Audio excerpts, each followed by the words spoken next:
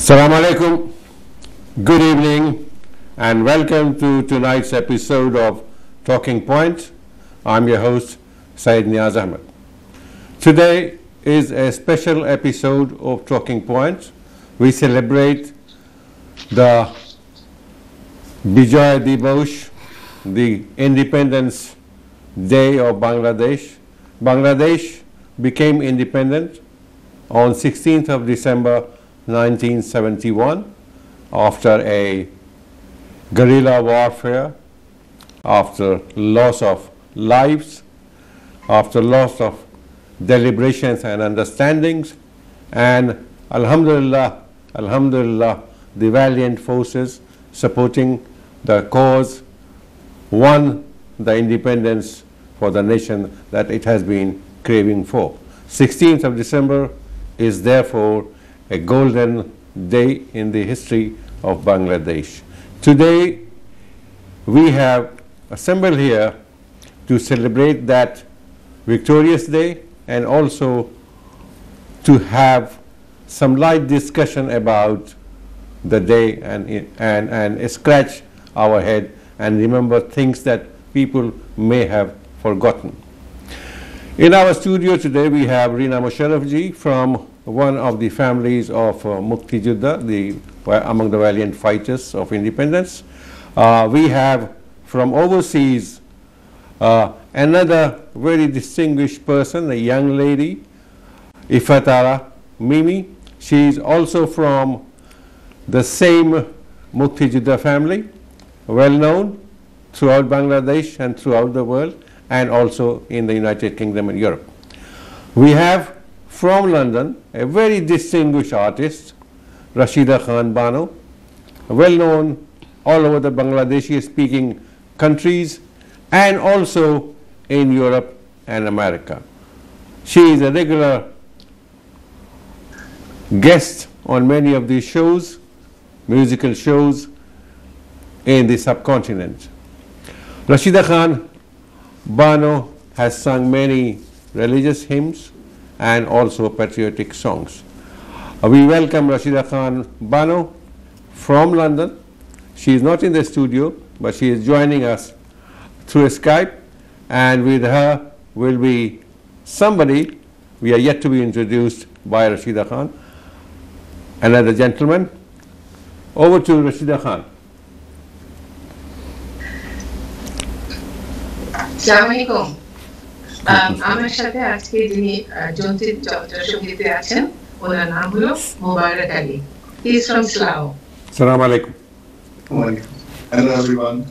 I hope you all okay. Sound uh, could, could you just raise your voice you, a little do bit you more? want the sound to be slightly higher? Give us a, give us a, uh, some sign whether we need to Is that okay now? Yeah, this is much No. better. Yes. Okay, all right. So what I will do is, I'm going to sing a beautiful song Uh-huh. uh, by D.L. Roy. Uh-huh. It describes the beauty of Bengal. Mm-hmm.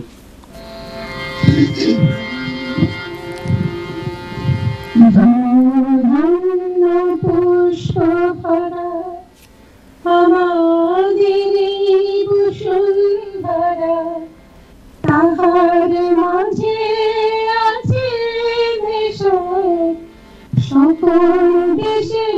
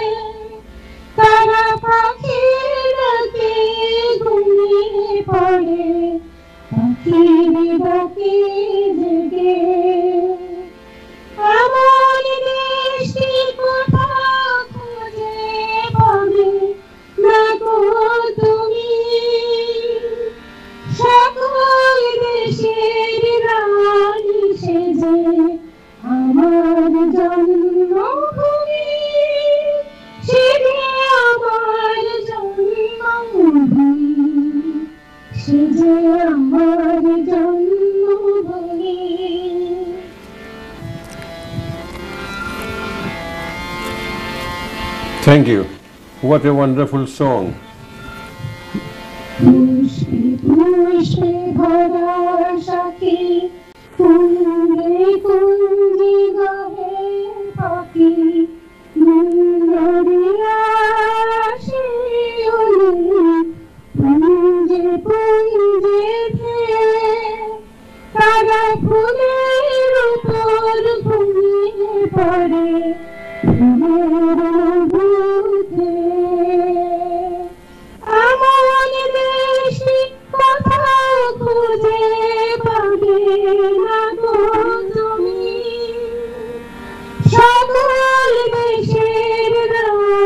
Rani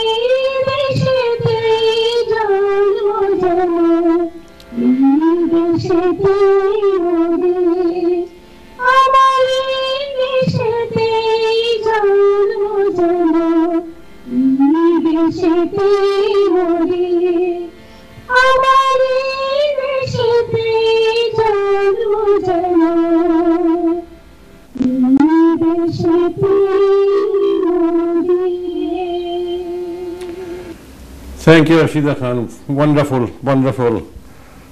Well, uh, in the process of this war, we lost a lot of people. Uh, we will never know the right figure, but it is in millions. And may Allah grant them all Janat al-Firdaus and their relations uh, be rewarded with sabr and rewards. In a war, truth is the first casualty. We will never know how many people died, but uh, to talk about those days of 1971, our guest from Dhaka, Ishat Ifatara Mimi, was very young. I don't think she will remember a lot from those days, but she must have heard it from her father, her mother. Her father was a distinguished MP, then and, and later a minister for land. And uh, she has seen actions. She must have suffered. Uh, ইফাতারা জি আপনি একটু জানান আমাদের দর্শকদেরকে যে আপনার চোখে আপনি কি দেখেছিলেন তখন কি কষ্ট কি বেদনা কি আপনি সাফার করলেন তখন? জন্ম হয়নি। জি থ্যাংক ইউ আসসালামু আলাইকুম সকল দর্শকদের আহ, বিজয়ের শুভেচ্ছা জানিয়ে শুরু করছি। আসলে আমার তখন জন্ম হয়নি মুক্তিযুদ্ধের সময় কিন্তু পরবর্তীতে আমি আহ, মানে আমার বাবার কাছে আমার দাদির কাছে আমার কুকুরদের কাছে মুক্তিযুদ্ধ নিয়ে তাদের আহ, যে তারা অংশগ্রহণ করেছিল সেই গল্প শুনেছি। এবং মুক্তিযুদ্ধের সময় আমার বাবা সরাসরি যুদ্ধ করেছিলেন আমাদের জাতির পিতার নেতৃত্বে এবং তিনি ছিলেন আমাদের জাতির পিতার খুবই মানে খুবই কাছের একজন মানুষ এবং অল্প বয়সে থেকেই আমার বাবা রাজনীতি করতেন এবং আমাদের আমরা যে এলাকায় থাকি কলা বাগান সেখানকার তিনি মানে মাত্র পঁচিশ বছর বয়সে আমাদের আহ, জাতির পিতার মানে আদর্শে অনুপ্রাণিত হয়ে এখানকার বিধি মেম্বার হয়েছিলেন এবং পরবর্তীতে আমাদের জাতির পিতার আদর্শে অনুপ্রাণিত হয়েই মুক্তিযুদ্ধ অংশগ্রহণ করেছিলেন সরাসরি যুদ্ধ করেছেন। এবং আমার বাবা আহ, আমাদের জাতির পিতার সাথে একই ছেলে জেলে ছিলেন প্রায় এক মাস। এবং তখন কিন্তু আমার বাবা আমার বিয়ের কথা অলরেডি ঠিক হয়ে গিয়েছিল। আমার বাবা মার প্রথম দেখা হয়েছিল জেলখানায় এবং আমাদের মানে জাতির পিতা খুবই শঙ্কিত ছিল যে আমার বাবা কি বের হয়ে বিয়ে করতে পারবে কিনা? কারণ আহ, আমার বাবা কিন্তু জেলখানায় আমার মা কিন্তু বাইরে। তখন তাদের এঙ্গেজমেন্ট হয়ে গেছে। সেটা যুদ্ধের আগের কাহিনী। তো তারপরে কোনোভাবে আচ্ছা, আমার বাবা বের হয়েছিল। আপনার মনে আছে সঠিক ডেটটা কোন কোন ডেট ছিল, কোন বছর ছিল? আমার আমার বাবা আমার বিয়ে হয়েছিল আই থিঙ্ক এ বিয়ে হয়েছিল উনসত্তরে না না এই যে জেলখানায় যে জেলখানা বঙ্গবন্ধুর সঙ্গে। জেলখানায় আহ, আমার বাবা যখন আমার বাবা মার এঙ্গেজমেন্ট হলো তারপর পরই তিনি জেলে গেলেন রাজনৈতিক কারণে এবং একই সেলে ছিলেন এবং আমাদের যে মানে বঙ্গবন্ধু রোজনা- রোজনামচা যে বইটা আছে ওইটার মধ্যে আহ, আমাদের জাতির পিতা নিজে তার জীবন কাহিনী নিজে লিখেছিলেন সেখানে লেখা ছিল যে আমার বাবা তিনি একই একই সেলে ছিলেন এবং আমার বাবার বিয়ে দিয়ে আমাদের জাতির পিতা খুবই শঙ্কিত ছিলেন যে কীভাবে বিয়েটা হবে? কীভাবে আমার বাবা বিয়ে হবেন? বিয়েটা কি আদৌ হবে কিনা না? আমার আমার মা, মায়ের যে বাবা, সে কি বিয়েটা ভেঙে দেয় কিনা এই ছেলে বিয়ের আগে জেলখানা চলে গেছে, এর সাথে কি তার মেয়েকে সে দিবে কিনা তো নানান কিছু নিয়ে আসলে অনেক শঙ্কিত ছিল। তারপর আমার বাবা মার বিয়েটা হয়েছিল এবং আমাদের জাতির পিতা সবসময় তাদেরকে সবসময় মানে দোয়া করতেন বাকি সারাটা জীবন তারা সারা জীবন সুন্দরভাবে থাকতে পারেন এবং তারা জীবন একসাথেই ছিলেন মৃত্যুর আগ পর্যন্ত।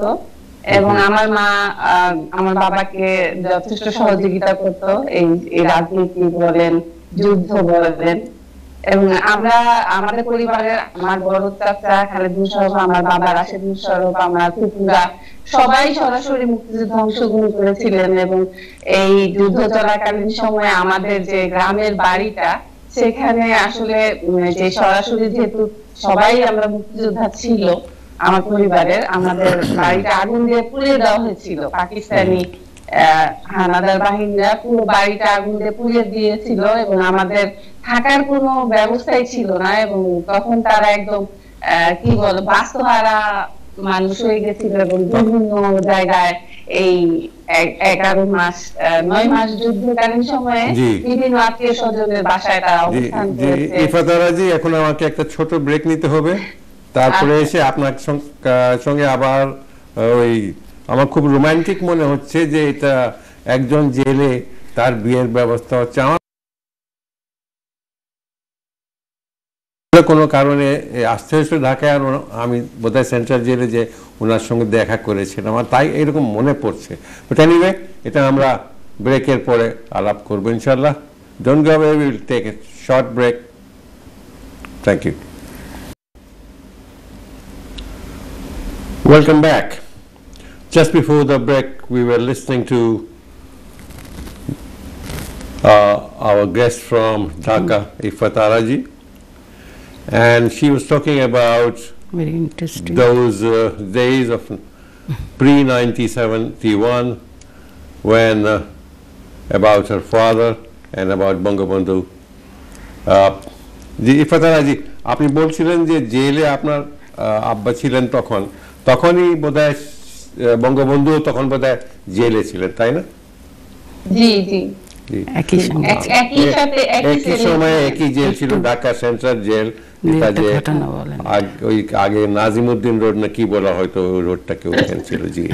যতটুকু আমার মনে আছে। পুরান ঢাকা জি জি ওই পুরান ঢাকা মানে খুব বেশি পুরান না। নতুন ঢাকার কাছাকাছি। ঢাকাই বলে। হ্যাঁ হ্যাঁ, হ্যাঁ ওটা ওই ইসে ঢাকা ইউনিভার্সিটির যে আর্টস বিল্ডিং ছিল তার পিছনে আর কি। এনিওয়ে আপনি আপনার নানির মুখে বা আপনার মায়ের মুখে বা আব্বার মুখে যা কিছু শুনেছেন যে যখন বঙ্গবন্ধু জেলে ছিলেন এবং আপনার আব্বাও জেলে ছিলেন, তো জানি না ওনারা এক, একসঙ্গে ছিলেন, কাছাকাছি ছিলেন, কিন্তু কোনো এমন কোনো ঘটনা এই স্বাধীনতা নিয়ে কোনো কিছু উনি- আপনার সঙ্গে শেয়ার করেছেন কিনা? স্বাধীনতার কথা মানে কি বলব, আমাদের দেশে মানে দেশকে ভালোবাসা, এটা আসলে আমার বাবা মানে আমাদের জাতির পিতা এত বেশি মানে ভক্ত ছিলেন, একনিষ্ঠ ভক্ত যে আমাদের জাতির পিতা যে কোনো কথা আমার বাবা অন্ধের মতো পালন করতেন। এবং মানে তাকে তার জীবনের আদর্শ মনে করতেন আমাদের জাতির পিতাকে এবং আমাদের বাসায় সবসময় আমাদের মানে কালচারটাই ছিল যে আমাদের জাতির পিতাকে নিয়ে তার আদর্শ কীভাবে দেশকে তার আদর্শে এগিয়ে নিয়ে যাওয়া যাবে এবং যখন যুদ্ধ শুরু হলো তখন আমার পরিবারের সবাই যে মানে আমাদের জাতির পিতার আহ, আহ্বানে চলে গেল আমার দাদি কিন্তু একবারও তাদের আটকায়নি। আমার দাদি বলেছে যে দেশের জন্য আহ, আমাদের জাতির পিতা যে কোনো আদেশ হচ্ছে তাদের মানে বাবা যেরকম সেরকম আমাদের জাতির পিতার আদেশ তাদের বাবার আদেশের মতোই। তো আমার দাদি কোনো সময়ই তাদের মানে কোনো বিষয়ে বাধা দিতেন না এবং দেশের জন্য তার সন্তানদের তিনি উৎসর্গই করেছিলেন এবং আমার বড় চাচা তখন গুলি খেয়েছিল যুদ্ধের সময়। তখনও কিন্তু আমার দাদি তাকে আবার যখন সে সুস্থ হলেন তার যুদ্ধে আবার যেতে আমার দাদি সে আটকায়নি সে কিন্তু বলতো যে আমার ছেলেরা দেশের জন্য কাজ করবে এবং আমাদের জাতির পিতার আদর্শের অনুসারী হবে। এর- এর জন্য উম, আমার দাদি গর্ব অনুভব করতেন আমি শুনেছি যে হ্যাঁ ওই কথাটা বলেন। আমি শুনেছি যে আপনাদের ফ্যামিলির সঙ্গে জাতিপিতার ফ্যামিলির সঙ্গে খুব বেশ ঘনিষ্ঠ কানেকশন ছিল এবং আপনার দাদির সঙ্গে আহ, জাতিপিতার একটা মানে বোধহয় ভাই বোনের মতন একটা রিলেশনশিপ ছিল। ইজ দ্যাট রাইট হ্যাঁ, আমি শুনেছি যে আমার বাবা আমার ফুপু আমার ফুপু বর্তমান প্রধানমন্ত্রী শেখ হাসিনা Class. বান্ধবী ছিলেন একসঙ্গে তারা পড়ালেখা করেছেন। আমি শুনেছি এটা। এবং তাদের সাথে আজীবন যোগাযোগ ছিল আমার কুকু ফেরদৌসি বেগম মারা গিয়েছেন। তিনি আনসার অ্যাডজুটেন্ট ছিলেন এবং আজীবন তাদের যে বন্ধুত্ব এটা ছিল অটুট ছিল। এবং তিনি আমার মানে আমাদের বর্তমান প্রধানমন্ত্রী আমার ফুপুকে খুবই স্নেহ করতেন। এবং আমাদের পরিবারের সবার প্রতি আমাদের জাতির পিতার অন্যরকম একটা আহ, অন্যরকম একটা অনুভূতি ছিল এবং আমি জানতাম যে আমার বাবাকে জাতির পিতা সবসময় তুই বলে মানে সম্বোধন করতেন। যে খুবই আপন ভাবতেন এবং আমার দাদি মানে সব সময় তার যে কোনো পরামর্শ জন্য আমাদের জাতির পিতার সাথে আলাপ করতেন যে কি করবেন তার ছেলেরা কোথায় যাবে। আহ, এবং তাকে অনুসরণ করতে বলতেন যে তিনি যা বলবেন সেটাই হবে তাদের জীবনের শ্রেষ্ঠ কাজ। এবং সব সময় মানে তাকেই অনুসরণ করতে বলতেন সব সময় সব কাজে। জি। যে এলাকায় আপনারা থাকতেন তখন তো খুব একটা বাসা বাড়ি ছিল না তখন এরকম বস্তি ছিল না আবাদি ছিল না ঢাকায়। তো তখন তো এক বাসা থেকে এক বাসায় যাওয়া খুব সহজ ছিল। মিরপুর রোডও এত বিজি ছিল না এত ট্রাফিক ছিল না। তো আমার মনে হয় যে যে বঙ্গবন্ধু যখন সকাল বেলা মর্নিং ওয়াকে বের হইতেন তখনও বোধহয় একবার এই দিক থেকে হয়ে যেতেন। আর আপনার দাদির সঙ্গে বা আপনার দাদার সঙ্গে বা খালেদ মোশারফ রাশিদ মোশারফের সঙ্গে দেখা করে যেতেন। এটা কি সঠিক? আমার যতটুকু শুনেছি। এটা আমিও শুনেছি এবং আমি আমি শুনেছি যে আমার বাবা নাকি ঘুম থেকে উঠে প্রথম কাজ ছিল আমাদের জাতির পিতার সঙ্গে দেখা করা। এটা নাকি আমার মায়ের মুখে শুনেছি যে ঘুম থেকে উঠে এসে চলে যেতেন বত্রিশ নাম্বার।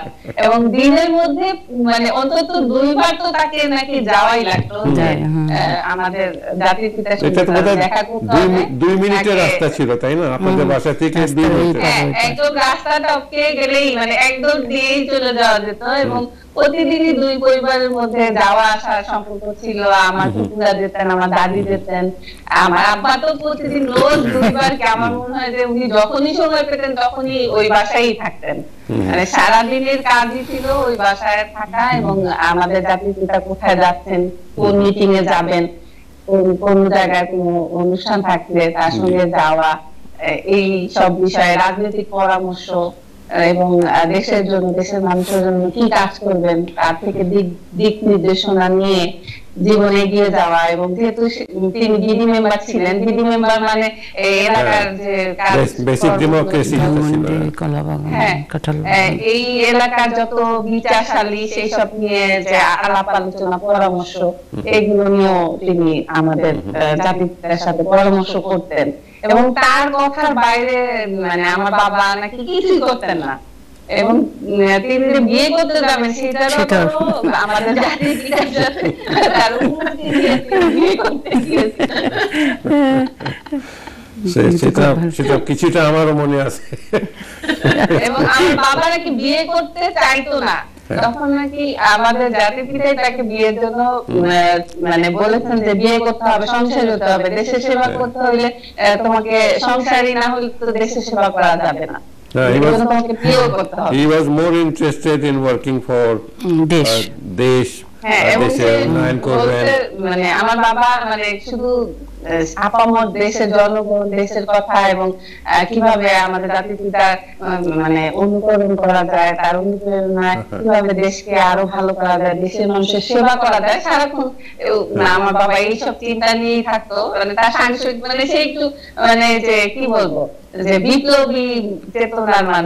সারাক্ষণ আপনার দাদার কথা বলেননি দাদা মানে আমার আমার দাদির কথা বলেছেন। আমি দেখি নাই আমার জন্মের আগে আমার দাদা মারা গেছেন এবং আমার দাদা মানে আমার উম, আমাদের পরিবারের আমার বাবা চাচা এরা ফুপু দাদি বেশিরভাগ ঢাকায় থাকলেও আমার দাদা কিন্তু সবসময় গ্রামে থাকতেন এবং তিনি গ্রামের মানুষকে এত বেশি ভালোবাসতেন যে উনি ঢাকায় আসলে দুই তিন দিনের বেশি থাকতেই চাইতেন না। এবং তার মানে সারাক্ষণই মনে হতো গ্রামের মানুষরা কি করতেছে আমার দাদা আমাদের এলাকার চেয়ারম্যান ছিলেন এবং সেখানেও তিনিও সারাক্ষণ দেশের মানুষ এবং দেশের মানুষ কীভাবে ভালো থাকবে বিচার সালিশ বিভিন্ন সমস্যা সারাক্ষণ এগুলো উনিও কিন্তু খুবই স্বাধীন চেতা ছিলেন কারণ উনি তখন যে আলিগড় থেকে প্রেসিডেন্সি কলেজ কলকাতা থেকে পড়াশোনা করার পরে হ্যাঁ। এসে ওনাকে গভর্নমেন্ট জব অফার করা হয়েছিল। কিন্তু উনি রিফিউজ করছেন যে ইংরেজের চাকরি করব না আমি ব্যবসা করব। তো সেই জন্য উনিও খুব স্বাধীন চেতা মানুষ ছিলেন। আর এটাই যে উনি দেশের জন্য অনেক কাজ করেছেন বলেই আপনাদের গ্রামের নাম মোশারফগঞ্জ হ্যাঁ। মোশারফগঞ্জ হয়েছে। আমার দাদা এটা নিয়ে একটা কাহিনীও ছিল যে আমার দাদা রেল স্টেশনে মানে ট্রেনের জন্য অপেক্ষা করছিলেন তো ট্রেন তখন স্টেশন আমাদের এলাকায় ছিল না। হ্যাঁ। তো আমার দাদার মানে সে বিষয়টা হয়তো খারাপ ছিল। তো তার অনেক দূর যে স্টেশনে উঠতে হবে সেটা স্বাধীনতার আগের কথা মনে হয়। তো তার কষ্ট হচ্ছিল তো সে তখন ভাবলো যে আমার গ্রামে যদি একটা রেলওয়ে স্টেশন হয় তাহলে অনেক মানুষ উপকার হবে এবং কষ্ট করে দুই মাইল দূরে হেঁটে গিয়ে তখন রিক্সা ছিল না গরুর গাড়ি ছিল। তো দুই মাইল গরুর গাড়ি এবং গরুর গাড়ি তো সবার ছিল না। তো হেঁটে গিয়ে স্টেশনে উঠা এটা একটা কঠিন ব্যাপার ছিল। তো তিনি তখন চিন্তা করলেন যে কীভাবে এখানে একটা স্টেশন করা যায়। তিনি এই জন্য মানে বিভিন্ন জায়গায় বিভিন্ন অফিস আদালতে গেলেন এবং তিনি তার নিজের জায়গা দান করলেন রেল স্টেশন এই জন্য তার নামই ওই রেল স্টেশনটার নাম আমার দাদা কিন্তু আমি যতটুকু শুনেছি বেশ কষ্ট করতে হয়েছে। আপনার দাদিকেও বেশ হ্যাঁ। দরদরি করতে হয়েছে হ্যাঁ, অনেক অনেক দৌড়াদৌড়ি করেছেন। তারা তখন যথেষ্ট বয়স তাদের হয়ে। হ্যাঁ। গিয়েছিল। কিন্তু আমার দাদা দাদি দুজনই মানে দেশের প্রতি দেশের জনগণের প্রতি তাদের এত বেশি ভালোবাসা ছিল। যে সারাক্ষণ চিন্তা করতো কীভাবে তার গ্রামের মানুষ ভালো থাকবে ভালো থ্যাংক ইউ আমি আবার আসব আপনার কাছে। আমার আমার সঙ্গে স্টুডিওতে আছেন রিনা মোশারফজি। ওনাকে আমি জিজ্ঞেস করতে চাচ্ছি যে এই স্বাধীনতার যুদ্ধে অনেক বীর মুক্তিযোদ্ধার নাম শুনেছি অনেক হিরোদের নাম শুনেছি। কিন্তু যেহেতু আমাদের নারী সমাজও যথেষ্ট বড় আহ, আমি মনে করি যে অনেক নারীরাও অংশগ্রহণ করেছেন এই যুদ্ধে, কিন্তু তাদের খুব একটা নাম আমরা শুনিনি। তো উনি ওনার কাছে একটু যেতে চাই যে, জানতে চাই যে, আপনি কিছু বলেন ওটা সম্বন্ধে। আসসালামু আলাইকুম। অনেক অনেক শুভেচ্ছা, সুবর্ণ জয়ন্তীর। আর এনটিভিকেও, এনটিভির পরিবারকেও, এনটিভির সমস্ত সদস্যকে আমি অনেক শুভেচ্ছা দিচ্ছি। আজকে আমাকে কিছু বলার চান্স আমি পেয়েছি। কিছু, আমি নারীদের সম্বন্ধে বলব। আমাদের নারীরা অনেক মানে বাংলাদেশের স্বাধীনতার পিছনে আমাদের নারীদের অনেক অনেক ইয়ে ছিল। তারা অনেক অংশগ্রহণ করেছিলেন। আমি কতগুলো নারীর নাম আজকে না নিয়ে পারব না, তাদের কথা ভুলে যায়নি, কিন্তু তাদের নাম অতি সহজে আমরা কেউ স্মরণ করি না। তো ভাবছি যে দু একজন নারীর নাম যদি আমি স্মরণ করতে পারি, আজকে এই সুযোগে যদি কিছু বলতে পারি। প্রথম তো আমাদের বঙ্গবন্ধু বঙ্গমাতার কথাও আমি বলব। ওনার অনেক স্যাক্রিফাইস ছিল। এই তো জেলের কথা শুনলেন একজন আমাদের যে আসছেন আমাদের গেস্ট উনিও সারাক্ষণ, বঙ্গবন্ধুও সারাক্ষণ জেলে থাকতেন। তো বঙ্গমাতা তার ছেলে মেয়েদেরকে মানুষ করেছেন। আমাদের আজ আজ যে আমাদের বর্তমান প্রধানমন্ত্রী মাননীয় শেখ হাসিনার মা, ওনার কথাই বলছি ফজিলাতুন্নেসা উনি ওটাও আমরা দেখেছি, আমরা অনেক ছোট ছিলাম। আমার বড় বোনের ফ্রেন্ড ছিল শেখ হাসিনা। সেই জন্য আমরা ওই ফ্যামিলি মানে আমরা জানি, অনেক নারীর কথা। তো আজকে আরেক কয়েক নারীর কথা আমি বলছি। সেলিনা পারভিন উনি একজন সাহসী সাংবাদিক ছিলেন। ওনার ছেলের চোখের সামনে ওনার অনেক অত্যাচার হয়েছে। তারপর আরও কিছু নারীর কথা আমি বলব।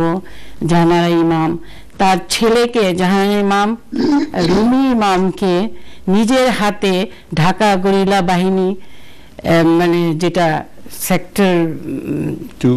কে সেক্টর টু কে ফোর্সে ছেলেকে নিজের হাতে সাজিয়ে ওই বাহিনীতে খালিদ মোশাররফের বাহিনীতে পাঠিয়ে দিয়েছিলেন। তারপরে সোফিয়া কামাল, উনিও কিন্তু ধানমন্ডি বত্রিশ নম্বরে।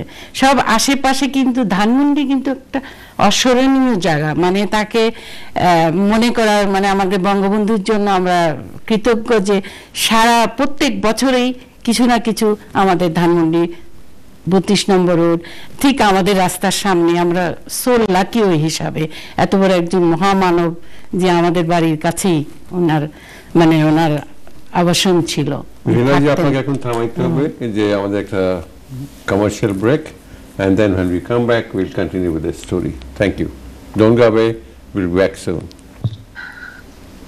welcome back just before the break we were talking to our guest in the studio Reena Musharraf ji uh, you were talking about uh, you were going to talk about some uh, ladies who took part, women who took part in the heroic war of independence of Bangladesh. তো আপনি বলছিলেন যে কি কার সম্বন্ধে তারামন আমি একজন সাহসী নারীর গল্প করতে চাচ্ছি আমি নিউ প্রজন্মকেও জানাতে চাচ্ছি। মানে একদম অর্ডিনারি কৃষির মেয়ে সে মাত্র পনেরো বছরের মেয়ে। সে যখন কুড়িগ্রামের মেয়ে রাজীবপুর গ্রামের আর কুড়িগ্রাম ডিস্ট্রিক্ট রংপুর বিভাগের মেয়ে। মাত্র তখন পনেরো বছর বয়স ছিল সেভেন্টি ওয়ানে তো ওর ছোটকাল থেকেই খুব সাহসী ছিল। কৃষির মেয়ে হয়ে মানে একদম অর্ডিনারি কৃষির মেয়ে। সে এমন সাহসী ছিল যখন একাত্তরের যুদ্ধ শুরু হলো, এগারো নম্বর সেক্টরের ঠিক ওর মানে ওখানে ক্যাম্পটা ওর বাড়ির কাছেই ছিল আর কি। তো ওইখানে সে কুকিং এর মানে রান্নাবাড়ির কাজে হেল্প করত। কিন্তু রান্নাবাড়ির কাজে কিন্তু ও- নেশা ছিল না, কিন্তু খুবই সাহসী। তো আশেপাশে যে হাবিলদার ছিল আর্মির ক্যাপ আর্মির ক্যাপ্টেন মানে কমান্ডাররা ছিল, ওকে খুব নোটিস করতো যে মেয়েটা ভীষণ বুদ্ধিমতী, ভীষণ সাহসী। তখন তারামন তারামন নিজেই তারামন মনি নিজেই ওই হাবিলদারকে রিকোয়েস্ট করল। হাবিলদার কিন্তু ওকে মেয়ের মতো দেখতো একদম। হাবিলদার মুহিত নাম ওনার। তো মুহিবুর রহমান বোধ হয় মুহিব ওনাকে ট্রেনিং দিলেন হ্যাঁ ট্রেনিং দিলেন। Three nought three even even rifle Sten gun চালানো। মানে শিখানো ওনাকে রীতিমতো ওনাকে ট্রেনিং দিলেন। ইভেন উনি দু একজন পাকিস্তানি হানাদারকে উনি ইয়েও করেছিলেন। ট্রিগারে ওনার ট্রিগারে মারাও গেছেন। কিন্তু সবচেয়ে বড় সাহসী ছিলেন উনি খুব ভালো ক্লাইম্বার হতেন। রংপুরে হ্যাঁ গাছে উঠতে পারতেন। এই কারণে রংপুরের দিকে কিন্তু আমার আমার আমাদের বাড়িও আমার মার হ্যাঁ সুপারি গাছ। টাছ আছে। খুব ক্লাইম তো ওকে রাখা হলো শেষে। সে সে তাল সুপারি গাছে উঠে উপর থেকে আহ, ইয়ে করতো পর্যবেক্ষণ করতো স্পট করতো পাকিস্তানি আর্মিরা কোন দিকে যাচ্ছে। ওখান থেকে নিচে এসে ইনাদেরকে ইনফর্ম করতো যে অমুক জায়গায় আছে অমুক জায়গায়। ওখান থেকে আসার পরও মানে ওখানকার যে প্লাটুনরা ছিল মানে ইয়ে মুক্তিযোদ্ধারা ছিল তারা অ্যাটাক করেছে এবং কয়েকজনকেও মানে মারারও চান্স পেয়েছে আর কি। তো এত বড় সাহসী উনি বীর প্রতীক পেয়েছিলেন নাইনটিন সেভেন্টি থ্রিতে। জি। কিন্তু বীর প্রতীকের সঙ্গে কি হলো জানেন? ওনাকে তখন একদম পাওয়া খুঁজেই উনি অলমোস্ট হারিয়ে গেলেন। হারিয়ে গেছে। কিন্তু ওনার আসলে হয়েছিল কি উনি যখন ফেরত আসলেন একদম মানে অজপাড়াগা ওনার বোনরা যে কারণ মেয়ে মানে বুঝতেই পারেন বাংলাদেশের গ্রামের মেয়ে এক- এখনকার মতো এত অ্যাডভান্সও ছিল না তখন। ওই মহিলার তিনটা বোন ওনার থেকে বড় কিন্তু তাদের বিয়ে হয়নি। কারণ মেয়েটা ক্যাম্পে ছোট মেয়েটা ক্যাম্পে চলে গেছে। মানে কত বড় দুঃখের কাহিনী।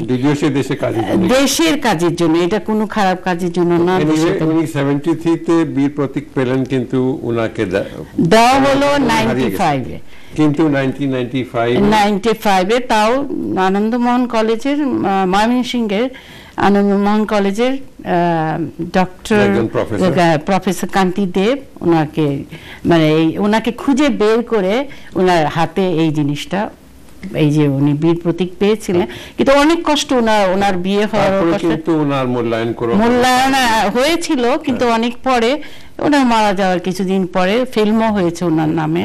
তো এইরকম বীর প্রতীক ওনার কিন্তু একটা আমাদেরও মনে এটাই আছে যে মহিলা যদি কিছু কাজ করে তাদের গ্রেট মানে আমি হিরো বলা হয় না ওয়ার হিরো বলা হয় না।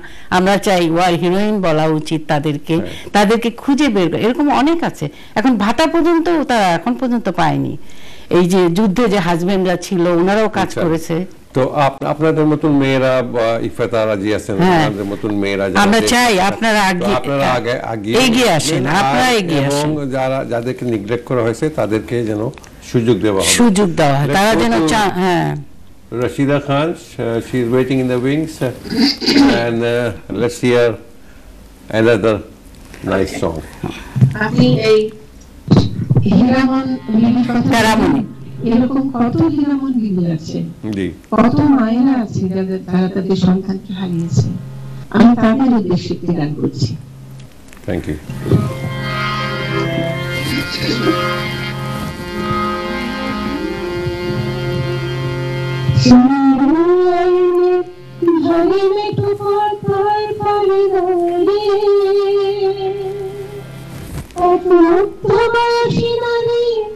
এখনও রয়েছে খাতুয়ারে ধরে মেঠো পর পর পরে এক মুগ্ধ বয়সী নারী এখনও রয়েছে খাতুয়ারে খোকা ফিরবে ঘরে ফিরবে কবে ফিরবে নাকি ফিরবে না? খোকা ফিরবে ঘরে ফিরবে কবে ফিরবে নাকি ফিরবে না? ধরিলে ঠোপার তার পানি দাঁড়িয়ে এক মুগ্ধ বয়সী নারী এখনও রয়েছে সাথে দাঁড়িয়ে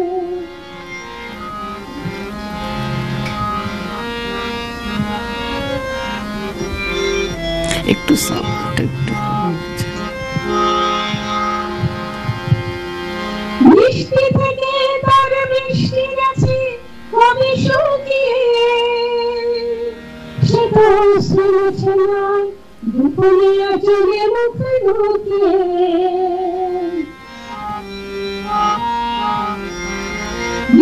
থেকে গেছে সে তো শুনেছে না দুপুরিয়া চলে মুখ ঢুকিয়ে শুধু শুনতে থাকি দিল আকাশে সীমা ছাড়িয়ে ওকা আসবে ঘরে আসবে কবে আসবে নাকি আসবে না ধরিলে ঠোপার তার পানি দাঁড়িয়ে এক মুগ্ধ বয়সী নারী এখনও রয়েছে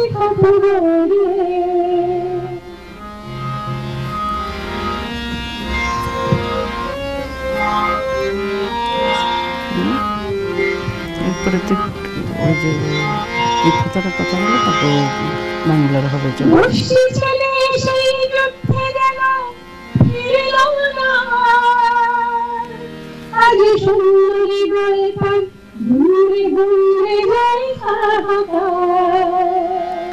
পাঁচ মিনিট আছে। তোকে একটু সে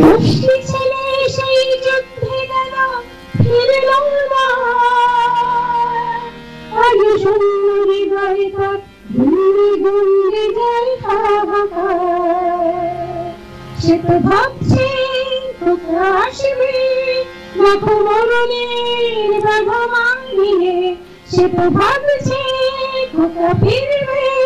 দেখো মরণের বাঘা মারিয়ে কোথা আসবে। ঘরে আসবে।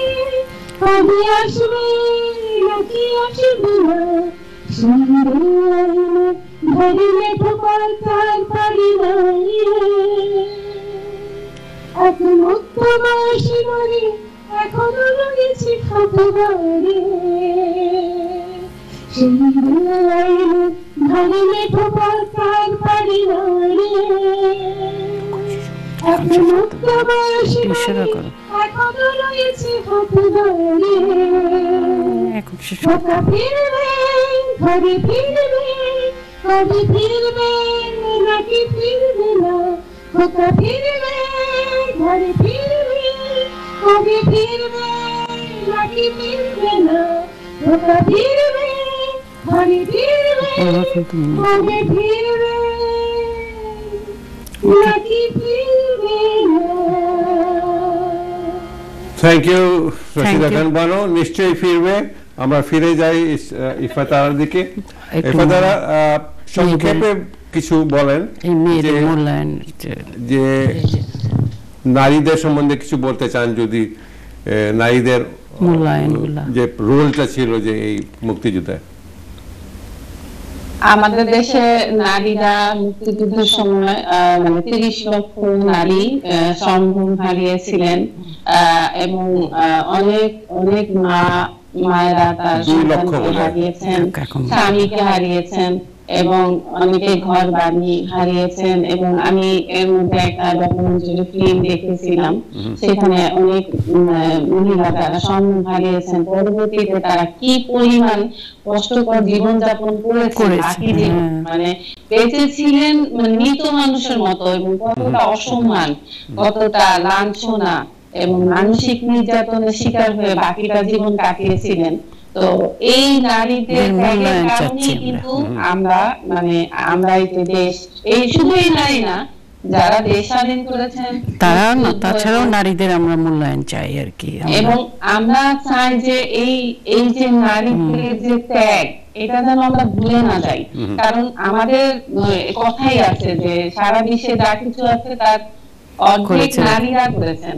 তো সেইখানে কিন্তু আমাদের নারীদের মূল্যায়ন নেই। আমাদের নারীরা এখনও ঘরে বাইরে নির্যাতনের শিকার হচ্ছেন এবং আমাদের নারীদের প্রতিভাগুলো নষ্ট হয়ে যাচ্ছে। এবং আমি দেখেছি আমার চারপাশে অনেক প্রতিভাবান নারীরা। বিয়ের পরে তাদের প্রতিভা নষ্ট হয়ে যাচ্ছে। বিকাশ করার কোনো সুযোগ তারা পাচ্ছে না। তো আমি চাই যে আমাদের নারীরা যাতে এগিয়ে আসতে পারে এবং দেশে দেশকে আরও এগিয়ে নিয়ে যেতে পারে এবং তাদের যেন যথাযথ মূল্যায়ন করা হয় তারা যেন শুধু নারী না একজন মানুষ হিসাবে সম্মান পায় আমাদের সমাজে।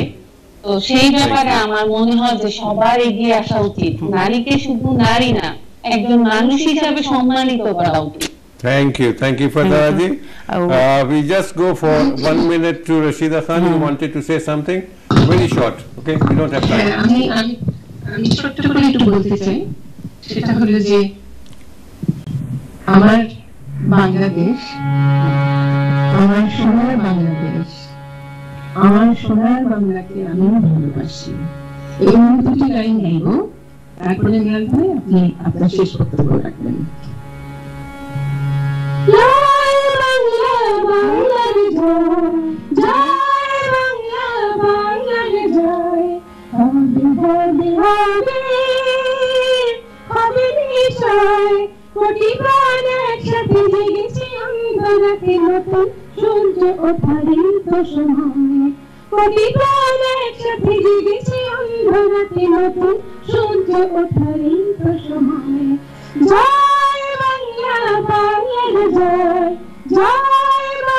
বাংলা বাংলার জয় জয় বাংলা বাংলার জয় Thank you very much. Thank you, Ifatara ji. Thank you, Rashida Khan Bano. Thank you, Mubarak Ali Saab ji, uh, for your contribution and your attendance all this time. And thank you, uh, Rina Musharraf ji, for making it and the, in this very cold weather. And uh, thank you, Fatara. Uh, আপনি uh, আপনাদের কিন্তু বোধহয় ঢাকা এখন সকাল হয়ে গেছে। আর আপনার আজকে বেশ বেশ বিজি ডে ছিল আপনার কাজ ছিল আপনি পরীক্ষা ছিল সবকিছু ছেড়ে করার পরেও আপনি আসলেন। থ্যাংক ইউ ভেরি মাচ ইনশাল্লাহ আমাদের আবার দেখা হবে। আমি এনটিভি সকল দর্শকদের এবং আমাকে যারা এখানে মানে কথা বলার সুযোগ দিয়েছেন সবাইকে অনেক অনেক ধন্যবাদ জানাচ্ছি এবং আমার সাথে যারা ছিলেন সবাইকে অনেক অনেক ধন্যবাদ এনটিভি কে এবং এনটিভির সাথে সংশ্লিষ্ট সবাইকে। এবং অনেক অনেক ধন্যবাদ আমাদের অনুষ্ঠান দেখার জন্য। এবং আমরা আহ, আশা করব আমরা আমাদের বঙ্গবন্ধুর আদর্শের সোনার বাংলা করতে সবাই সক্রিয়ভাবে অংশগ্রহণ ইনশাআল্লাহ। করব ইনশাআল্লাহ। দেশকে এগিয়ে নিয়ে যাব। ইনশাল্লাহ ইনশাল্লাহ। রিনা জি আপনি ফিফটি সেকেন্ডস আমিও এইটাই বলতে চাচ্ছি আমি একটা কথা বলতে চাচ্ছি মাননীয় প্রধানমন্ত্রীর কাছে যে এই আমাদের এই ধরনের নারীদের যেন মূল্যায়ন হয় এটাই আমার শেষ কথা। আর আহ, সুবর্ণ জয়ন্তীতে আমার এইটাই একটু অনুরোধ। আহ, যারা অনেকেই ভাতা পাচ্ছেন না নাকি অনেকেই কমপ্লেন করেন আমি সেই জন্য এনটিভির মারফতে আমি এই এই জিনিসটা একটু পুছিয়ে দিতে চাচ্ছি এই সংবাদ। বাস এইটুকু আমার। ধন্যবাদ। সুবর্ণ জয়ন্তীর জন্য বাংলাদেশের হ্যাঁ, জয় Bangla. The right places thank you very thank you very much participants and my guest honoured guest thank you very much for being with us we same time, same channel after a couple of weeks. In the meantime, take care. Thank you.